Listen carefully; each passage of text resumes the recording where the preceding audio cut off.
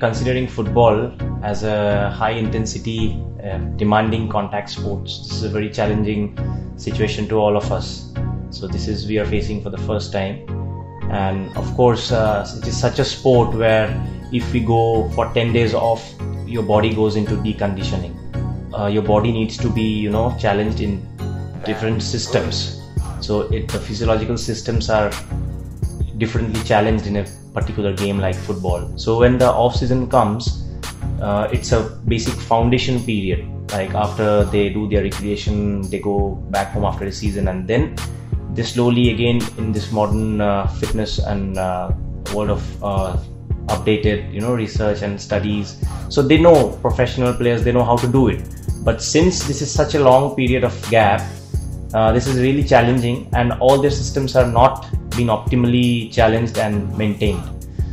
We try to utilize this uh, two and a half weeks of quarantine. We did a lot of uh, studies for each and every player through group calls and video calls and individual calls, and we saw that uh, some of them they did quite a good amount of strength work. Some of them they didn't have access. So likewise, we have segregated and we have made few groups so we are putting them into the particular groups and obviously we are trying to make a proper uh, program and we are trying to work on that.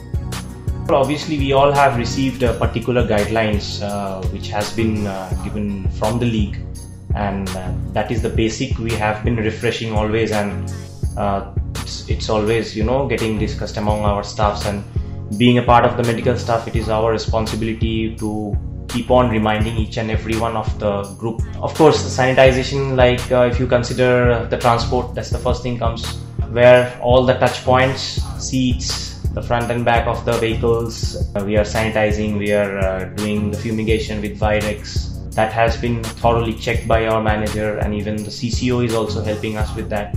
Then again, when the, for example, when the team bus comes back uh, to the hotel, again one uh, re-sanitization of all the parts which is exposed.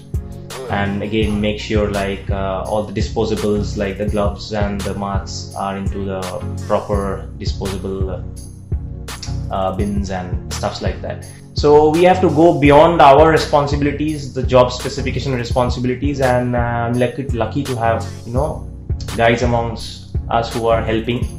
That is the way we are doing it. And of course uh, gym sessions again, it is a very challenging thing, uh, enclosed area. So there also obviously half an hour prior to that, our CCO and us, uh, we always monitor that uh, whether each and everything, all the touch points, the grab rails of the treadmills, all the cardio uh, equipments, then the bars and the plates, they are properly sanitized and fumigation is done or not. We are uh, splitting the batches into you know very small groups and it's, it's a bit hectic for us but safety is the most important for our players and us.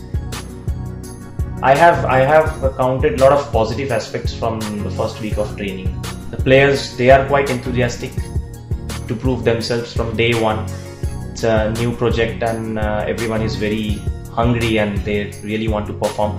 We are trying to monitor their response like after every training sessions how they are feeling. Maybe they'll feel good because they are fresh after a long time but we are trying to take all the precautionary measures and uh, to see whether they are not exerting more or obviously uh, it's going into a situation where they can you know get prone to injury before the season kicks off.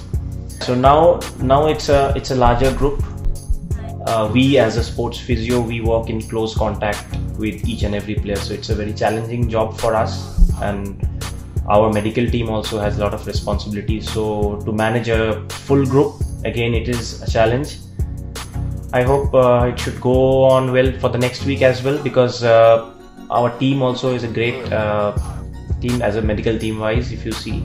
So the doctor and everyone is going beyond their job responsibility and helping the players and staff. The other department members also are stepping in to help us. That whole uh, week of quarantine and isolation we we utilized for a lot of briefings and meetings so that uh, this should not be a problem when things are rolling on in a practical uh, scenario. Last week it has been uh, hectic like anything, but it was it was good. thankfully, uh, it went well from training point of view, from fitness and injury point of view, nothing unusual. So uh, very excited for the coming weeks as well.